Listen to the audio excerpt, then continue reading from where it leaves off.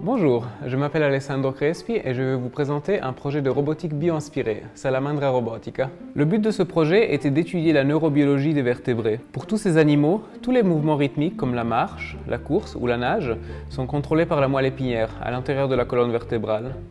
On pourrait en fait penser que c'est le cerveau qui contrôle ça, mais le cerveau ne sert qu'à décider où on se dirige ou encore à quelle vitesse.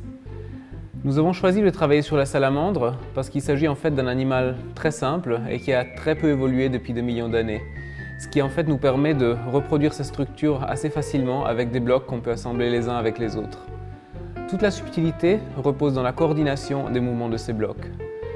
Si c'est pas bien fait, le robot ne pourra ni nager, ni marcher, et en fait même pas bouger.